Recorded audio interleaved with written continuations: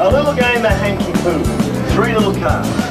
Two cards for me, one for you. I did a little, the lady could be in the middle. Five to get you 10, 10 to get you 20. If I get this, I get one to two and three months off. With me? Yeah. Am I going too fast? Yeah. Good. That's good. So now I take the hands and put it on my shoulders, and then I have this piece of rope that goes on and on and on. You with me so far?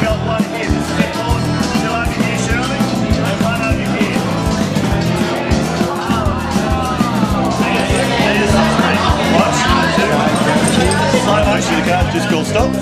Don't rush anytime, John. I'm here, I'm here to lay.